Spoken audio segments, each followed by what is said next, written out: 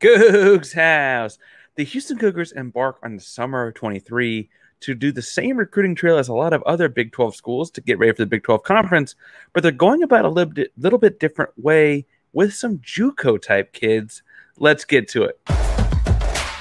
You are Locked On Coogs, your daily podcast on the Houston Cougars, part of the Locked On Podcast Network. Your team every day.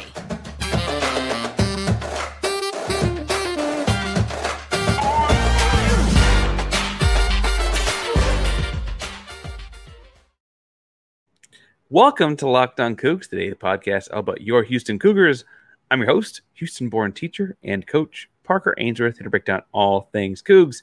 If you're a U of H fan or just a hater came to stop by, please be sure to subscribe down below. That way, you get the latest on the Coogs in your news feed each and every day. We appreciate you making Locked On Coogs your first listen of the day. Welcome back to the YouTube channel. It's good to see you again as we see you every day here at Locked On Coogs. Remember to subscribe, like, and comment. We're doing a giveaway every 250 subscribers. The next of which is at 12 video. You can away a hat just like the one I got on. Cougar paw locked on the side. It's a Nike Dri-FIT hat. A new hat is going to someone at 1250. So make sure you subscribe down below and help the show get there. Today we're talking some about recruiting specifically the recruiting for the expansion team that is uh, for the Big 12, the Houston Cougars. Uh, but we're looking at the junior college ranks specifically. Uh, now, that's a little tricky to find film on and things like that. So, without further ado, we're going to bring in Brian Smith, recruiting expert, to help us talk through what exactly Houston's looking at in the junior college ranks. And we welcome in recruiting expert Brian Smith. Brian, you're getting pretty familiar with these Locked On podcasts these days. How yes, are you doing today? I'm doing well. It's uh, my favorite time, man. All the visits are starting, and it's uh, it's a big day for Houston and everybody else because the visits are coming, and got to find out who you can land for your future. Well, and I'm hoping we'll talk about some big names that Houston could be landing in the near future. But I got to ask: Is June just absolute chaos for you? Is it just uh, just nuts? Unexplainable. unexplainable. I, I, I will literally either be at a camp, uh, talking on the phone with somebody or messaging with somebody 12 to 15 hours a day every day. There's there's there is no day off. Well, in in the, first of all, thank you for taking the time then for us. But in the in the sense of no time off, um, Houston has gone this route, and it's kind of a Holgorsen staple. Looks like if you look at his time in West Virginia as well, where they're hitting this junior college track for some guys to help them ready for the Big Twelve. Uh, it is June, but obviously the big news for Houston is July first. We're in the Big Twelve, and all the fun that comes with that. Big Twelve football schedule next season. I want to talk first about um, some kids that Houston's targeting, and then the second segment about some kids that Houston has signed because I think those are more familiar names. And then the last segment just about this idea of a JUCO approach as a whole. But we talked off air in the pre-pod about Kevin Kalanji. Now, this kid is a 6'6", 330 pound offensive tackle from Coffeyville. Um, that's up in Kansas, I believe, if my yes. geography serves me correct. Um, some places happens a three-star junior college recruit, but that is a giant man for just three stars. That's that's a lot of chest to fit across three stars. What did you see when you saw Kevin Kalanji working out?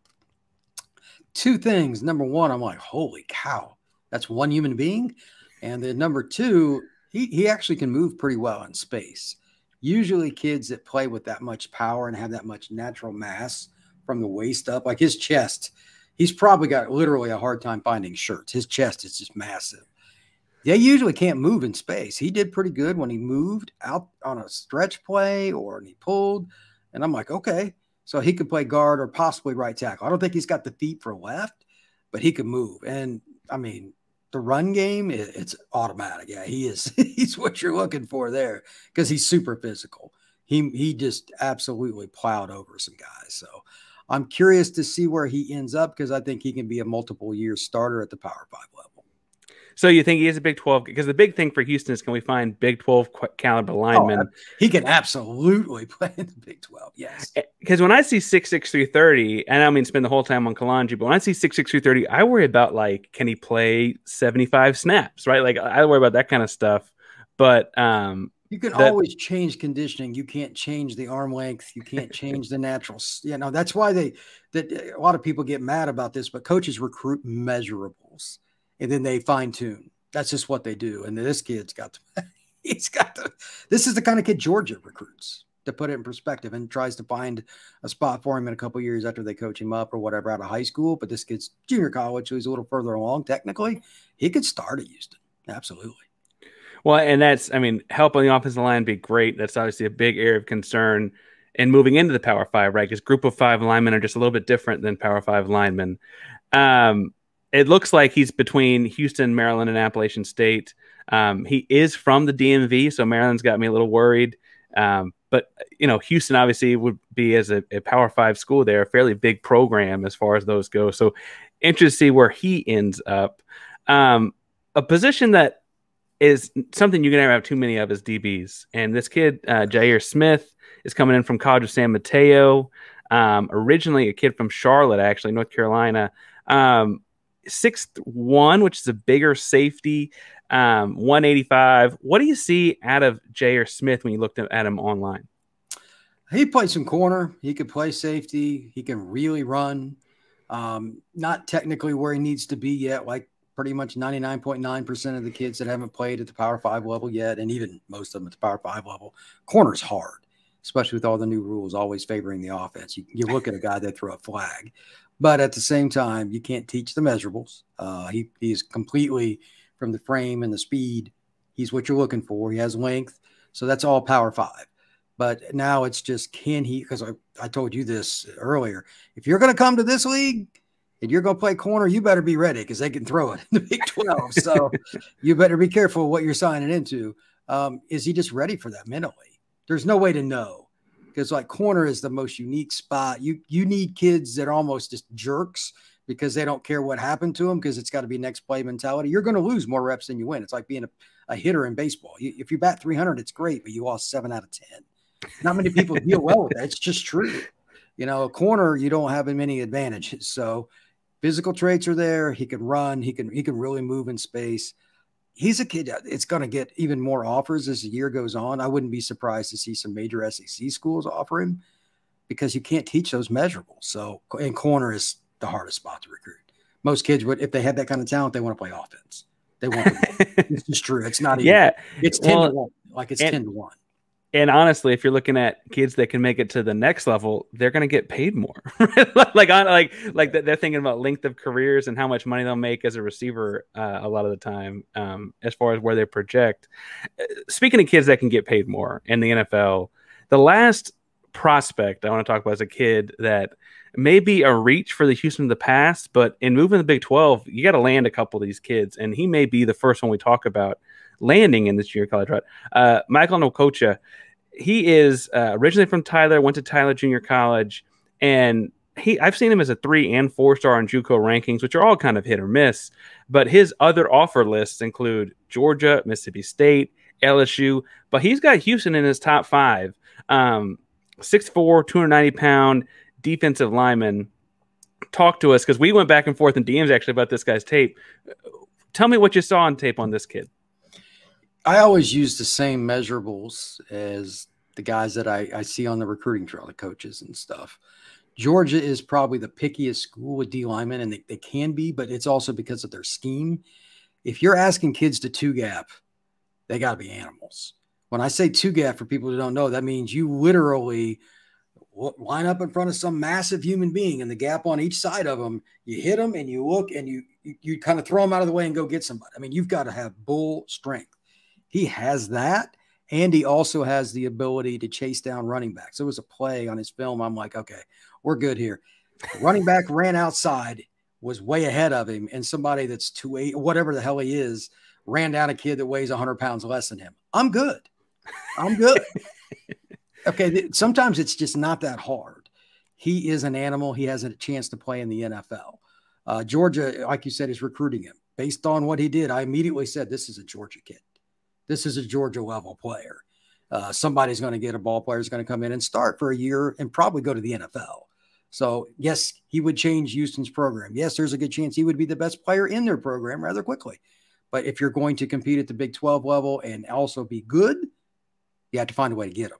So I have no idea where his recruitment stands. We don't really talk a lot to JUCO kids, but my gosh, this this guy's really special talent.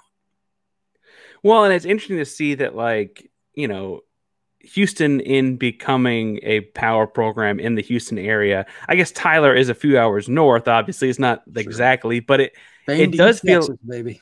Yeah, it, it, East Texas near that Louisiana border. It feels like you've got to land some of the best kids in this half the state at least, right? Um, and he certainly strikes you as one of those.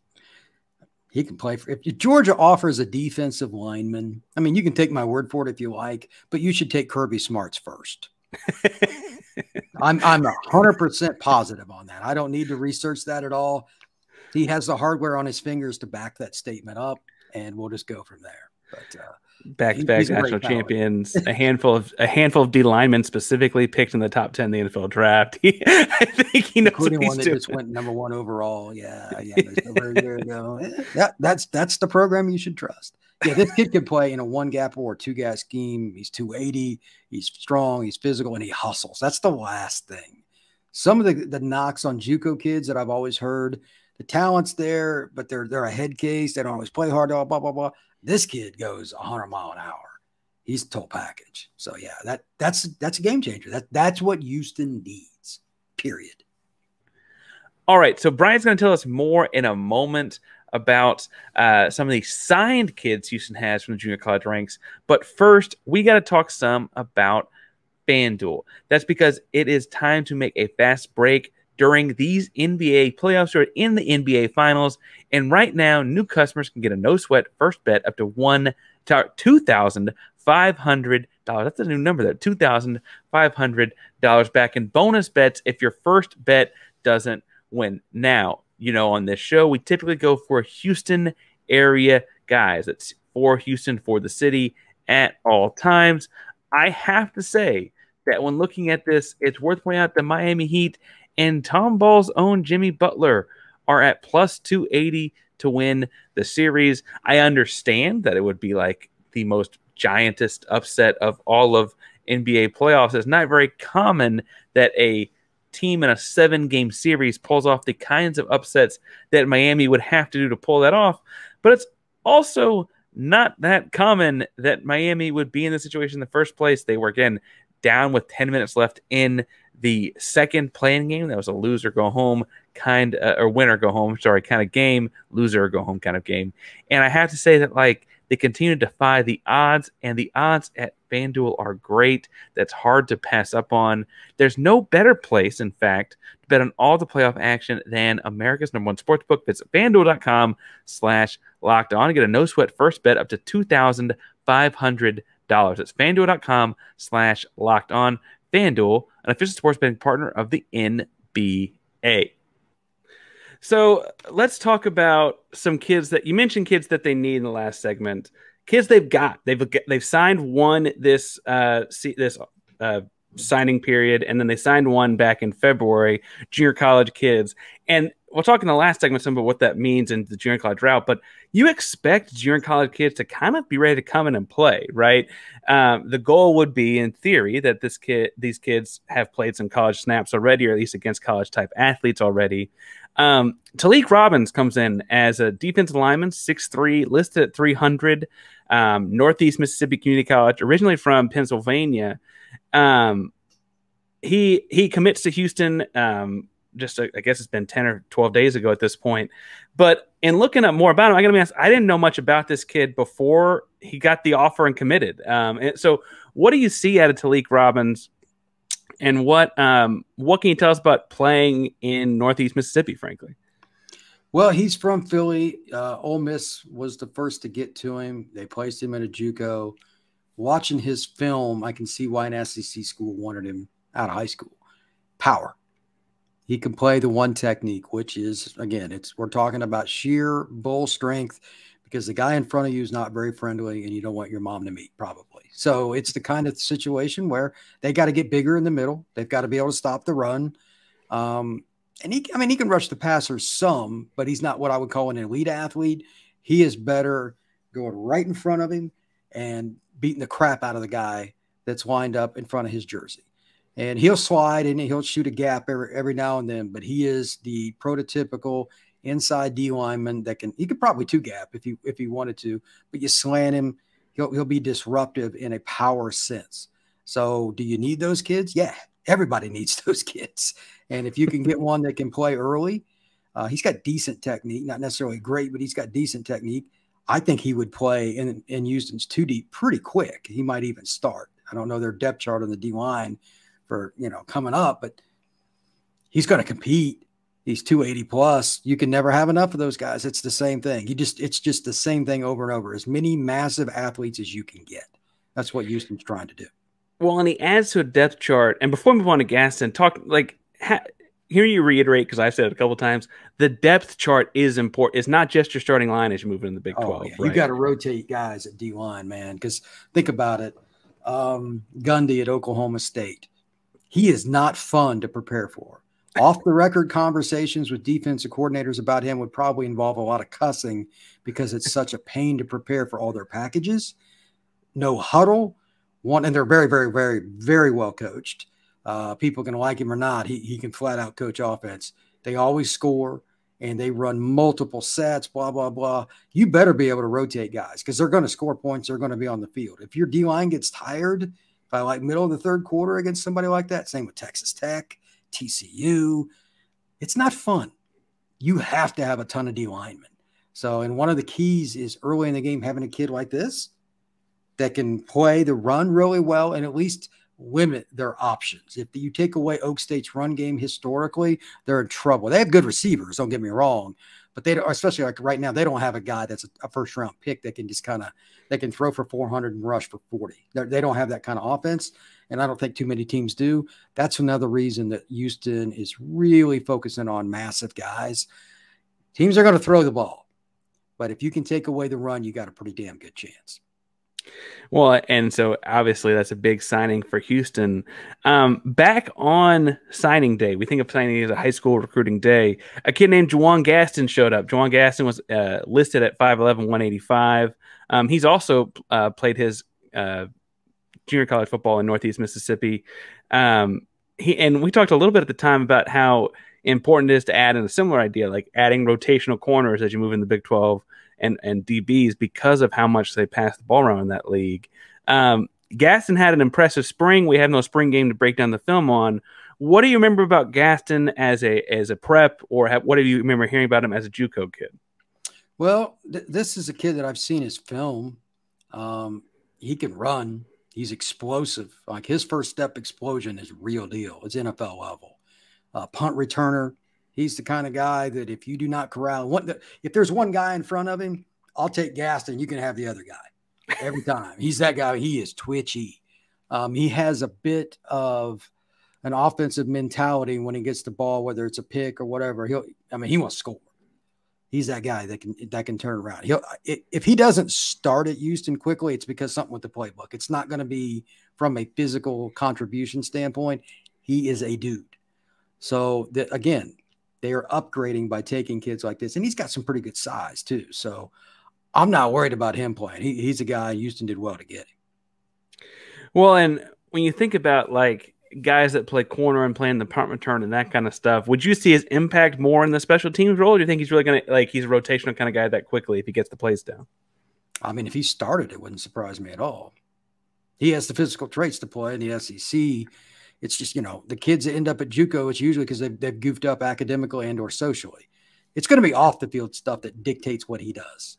So I mean, projecting him like any junior college kid is about maturity and him sticking to his p's and q's. It's not going to be physical. Well, and that's a nice little segue into what I'd like to make the third segment. Um, junior college kids as a whole and as a strategy. Um, now, Dana Holgorsen made some money on this at West Virginia with second chance kids and junior college kids. He's trying to do the same thing at Houston. And interestingly enough, he and his staff actually went lower on the number of actual high school kids they signed in 2023's class right. and pulled in a bunch of transfers and junior college kids now. Um, as a as a guy that does recruiting for a living and has lived this for a long time, Brian, what do you make of that as a like a, a thought process in recruiting? And again, like some people love Dana, some people hate him. He can coach the crap out of an offense. Um, what do you, what do you think about that as a strategy moving in the Big Twelve? I think short term, it's the only option they have. And the reason I say that is they're not going to get the kids that they really want out of the high school ranks. They're not. most of the four and five star kids, this this is a coach, I can't remember which guy it is, which I could give him credit, made a great statement to me. I was at a practice sometime in the last year or so. He said they're logo chasers. I said, what the hell does that mean? And he said they're interested on the with the logo with the coaches on the sideline that have prestige that you see on Sports Center and stuff. Houston doesn't fit that. It's just true. So until you start beating some of them, or like let's say in the in the first year, let's say Houston goes to the Big 12 championship game. I have no idea. It's Big 12 predictions haven't been good for a long time. for I mean fair, it's, fair. it's I mean, who picked TCU? Raise your hand. I'm not raising mine. Okay. Neither did hardly anybody else. The point is this they need some kind of splash to change this long term. And that's how you win long term. Okay. But if you get say on average five kids a year out of the junior college ranks and you get five kids a year out of the transfer portal that can help your team be either a starter co-starter you know in the rotation then you can take a little more time recruit houston hard and east texas and southern louisiana and stuff and you can be fine with redshirting kids and kind of doing it the old-fashioned way winning with juniors seniors and fifth year seniors you can piece it together it's unusual it's not traditional but it'll win. And to be honest, it's not a lot different than what Houston did in the 70s and 80s. They they had some really good teams and they took a lot of JUCO kids then too. So I think that for now they're going to have to lean a little heavier on the JUCO kids and take some chances. But if they can win short term, you'll see the number like if, let's say it's 10, it'll go to like 6. A few more high school kids and some of the kids that they're getting in high school won't be 2 and 3 star, they'll be more 3 and 4 and occasionally you might even get a 5 star kid. So it's about winning. They got to win short term with this, though. They can't miss. They have to do it now. Well, and we'll obviously be following, and we'll be sure to bring it back on when more kids sign and commit to Houston. Um, when you say the '70s and '80s, though, if you're you're talking Andre Ware, like like that's the kind of stuff we can really get. Like that, we're all into that. They that's, that's exciting. JUCO kids then, and they would win with them. And they got more kids then. They had a you know more powerful pro. They were ranked the top twenty pretty consistently man, they were their offense was ridiculous. I remember them as a kid; they annihilated teams. So, yeah, they always had a couple of JUCO kids, and it certainly didn't hurt them then. Why would that be any different now? It's funny when you think of Houston, you always think of the same kind of a bunch of kids you hadn't heard of, you know, the occasional star, a bunch of kids you hadn't heard of, and they always, for decades, you mentioned 70 days, always scored a lot of points. Yes, um, I, just a, a, a, weird thing that's always, always happened. Brian, you are all over the place this June, talking to recruits, talking to coaches, talking to other scouts, looking at camps, looking at kids, following visits. Where can people find you and your work best and keep up with what you're doing? Uh, YouTube, Twitter, and Instagram. Uh, Instagram is the one I'm building, but uh, Twitter is where I'm at the most. And all three of them have the same handle at FB Scout underscore Florida. I'm a, I'm a guy that's going to be all over the place this month. There's going to be random stuff It could be any school. Uh, I live in Florida, so it's more southeast based. But I'm going to be talking, especially on my YouTube channel. I got something I've got planned in the next day or so, talking about national recruiting, some schools like Houston. How do they crash the party? There, there's some really unique topics because this, for people that don't know, this weekend is the beginning of all the runs of kids going all over the country, flying, you know, Delta and all these companies making a lot of money off these schools, sending these kids to visits and we just got to find out where they go, why they like them, why they don't. So I'll be talking about that on my social media handles. Again, that's Brian Smith is at FB Scout underscore Florida. Thank you for coming on the show today, Brian. Thanks for shedding some light on JUCO kids. It's hard to find and talk about that sometimes, but thank you for coming on. Absolutely. I appreciate it, sir.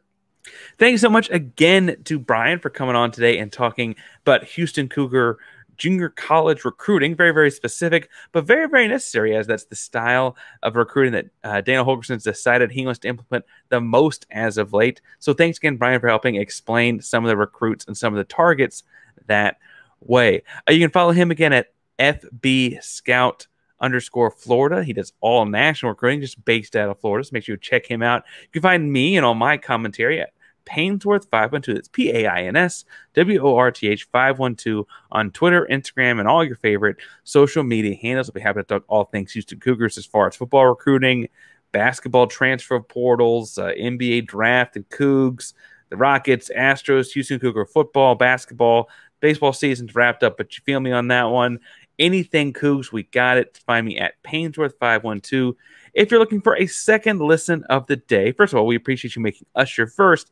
But for a second, I'm going to say Locked On Texans because they're starting to figure out who this Tank Dell guy is. And trust me, they're doing a great job breaking down how great of a fit Tank is at the NFL levels. Go check that show out as well. Thank you all so much for tuning in, today. Locked On Coogs is a proud member of the Locked On Podcast Network. That means your team every day. Go Coogs.